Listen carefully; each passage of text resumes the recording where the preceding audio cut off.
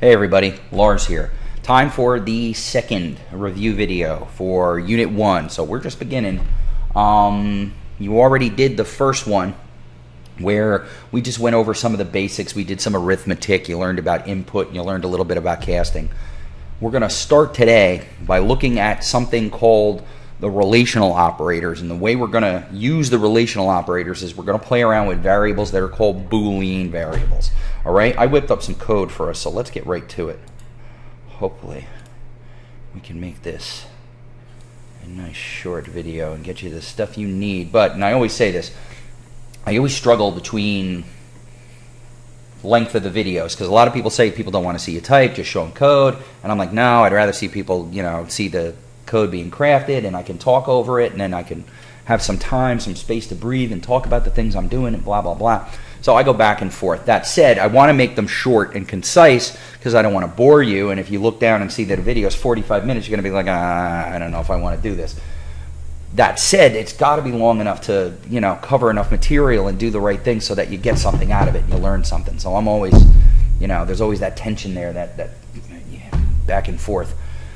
This shouldn't be so bad because we're going to do some interesting stuff. And one thing leads to the next thing and you'll see what I'm talking about because we are about to get started. Let's say I just have a simple variable and call it var1, and I'm going to assign it the value, ready?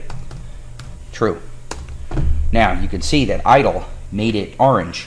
So it's a keyword. You've got to remember to capitalize it. And now I can do the same with false. So now I have true and false. So now, and I will get our little area where we can work here set up. When I run that, it says true. So I can print true to the screen. Let's get this set up. So I can go back and forth, back and forth. All right? So immediately right out of the box, you're probably saying is like, hey, that's great. It's a really good job. Well, who cares? Okay, you took a variable, you made it true. I could make it the string true and do basically the same thing. Okay, this is where it comes into play. You'll notice up here you have the relational operators. Well, you can use them. Okay, in comparisons and create variables with the results. So I can say var3 and give it the value of, let's say 20 is greater than 10. Is 20 greater than 10?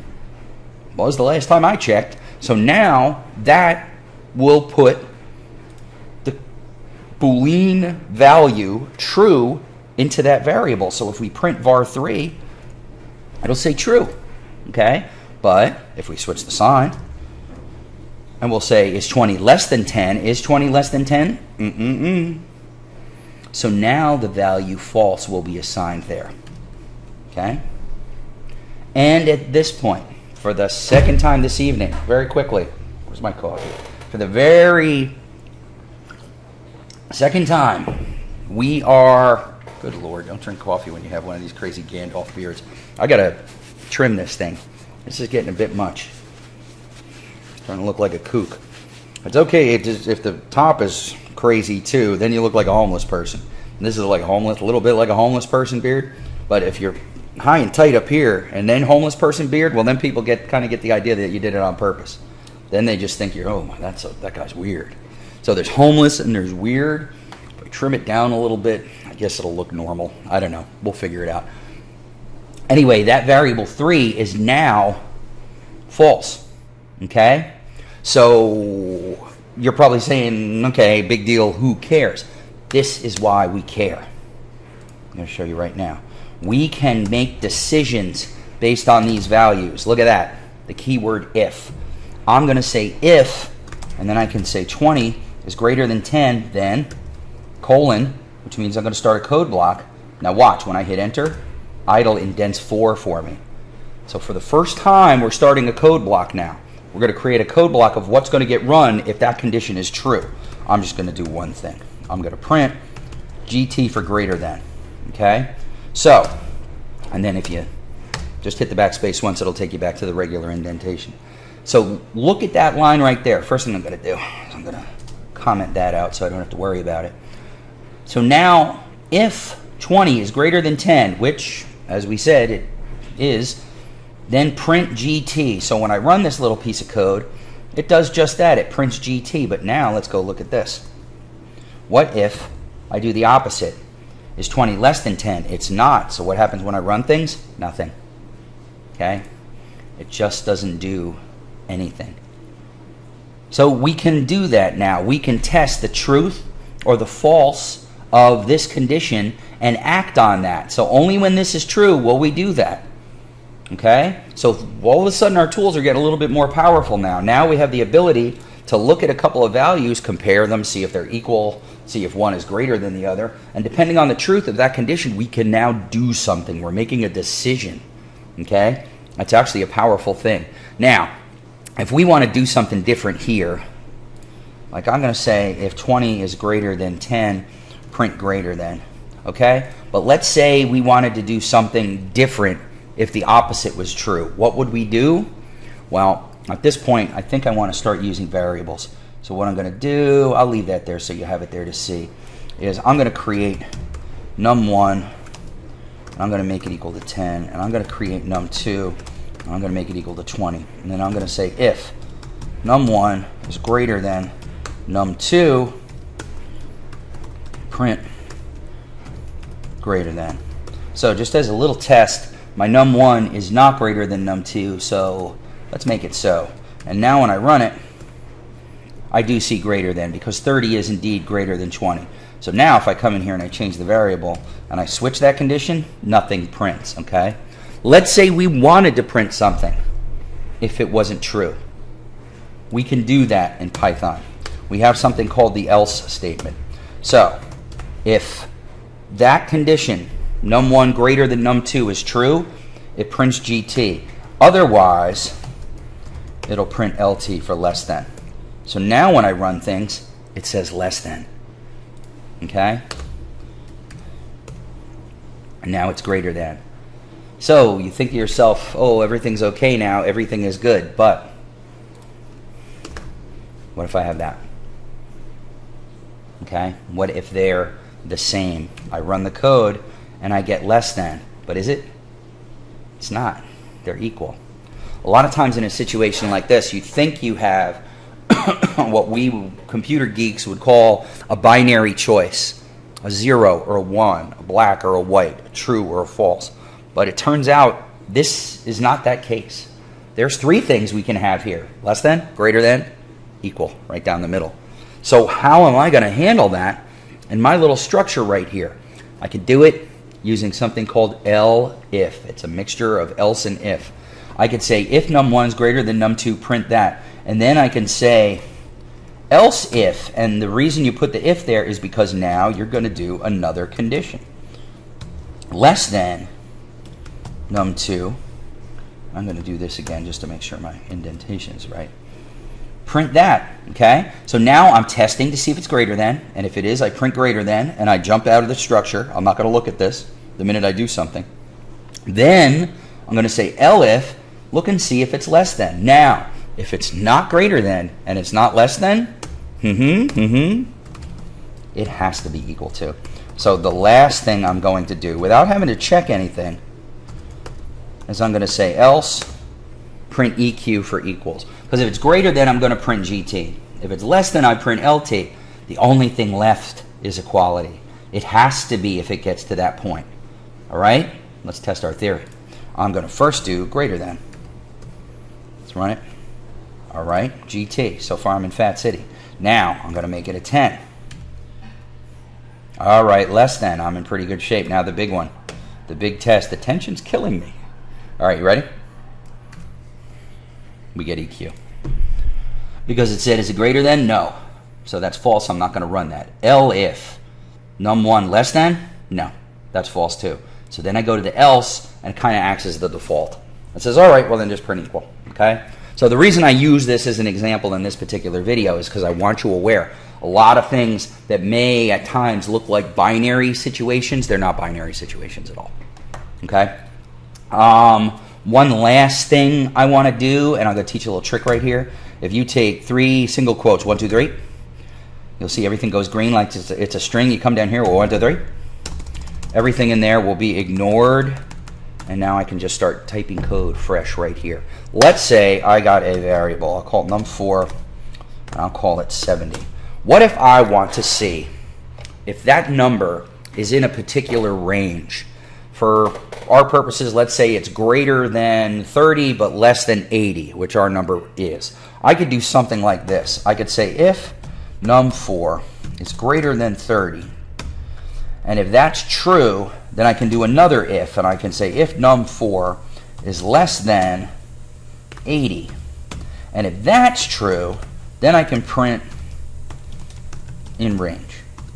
Okay? So if my number is greater than 30 and less than 80, it'll pop up in range and I should be good. So when I run this code, it says in range, which is true. Now, if I if it were 20 and I ran it, nothing would happen. Because is 20 greater than 30? No, so I don't run anything in the code block anymore. Okay? Anything in that indentation isn't going to get run anymore. So nothing happens. Let's say I do, let's do it nice and tight. 81, same thing. Okay? Because I got by the first one, but then is num4 less than 80? No, it's not. So whoop, I don't print in range. Okay? Now, and then, you know, I go back to 70 and I'm back in business because I'm in range. This is the problem. You look at that code right there and you say to yourself, yeah, it gets the job done, but it's not very readable. It doesn't really jump out at you what the purpose of it is to check a range. Um, one of the big things about Python, uh, you know, taking the syntax out of the way, doing some other things, one of the reasons why we consider it a good language for education is because it's readable. Usually you can read the code and, and figure out what's going on. So I'm thinking to myself, there might be a better way to do this. And the way I'm going to do it is I'm going to use Boolean algebra. I want to see if that number's in range. So I'm going to say if num4 is greater than 30 and you see how IDLE made it orange? It's a keyword.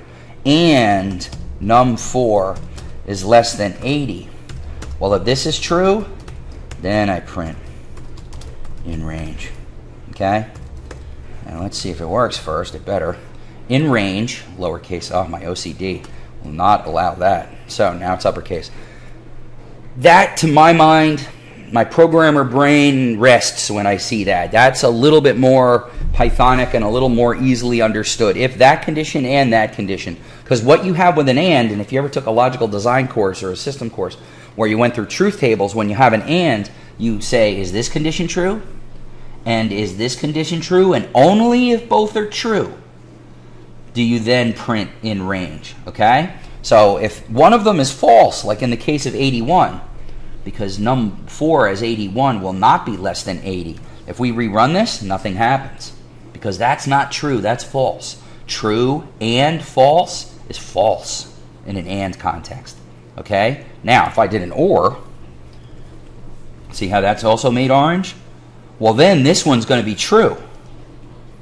So all of a sudden it'll say in range again, even though it really isn't. That's why you can't really use the OR. Okay? Because with an OR, only one of them has to be true. Okay? So you could do this with an OR, but you'd want to check the, the ranges on the other end. You wouldn't want to check the inside. Okay? So I'm going to change that back to my AND. And do the 70. Like that.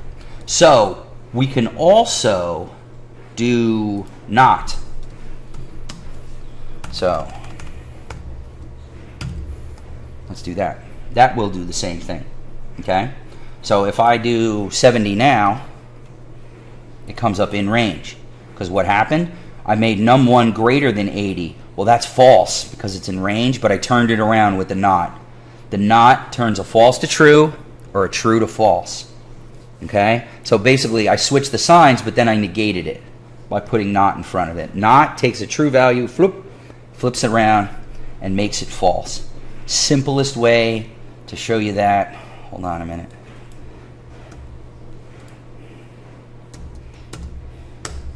One, two, three. Is I just take var 5, I make it equal to true, and then I print not var 5 false. Easiest thing in the world to do. Okay? It just takes a true and makes it false, or it takes a false and it makes it true. Flips it. All right? So, actually, I like that little piece of code. We'll leave that there so you can play around with it later. Okay?